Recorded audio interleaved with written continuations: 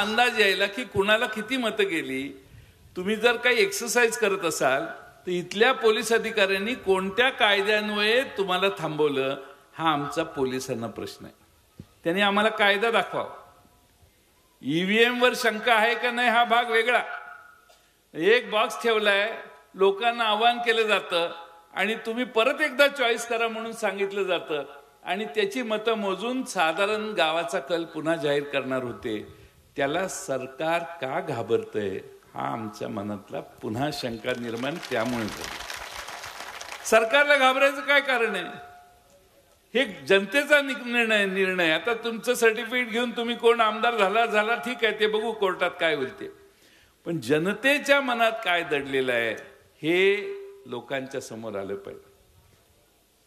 आता इथं आमच्या सगळ्या लाडक्या बहिणी बसलेल्या आहेत. ह्यातल्या बऱ्याच जणांनी लाडक्या बहिणीचे पैसेही मिळाले असतील.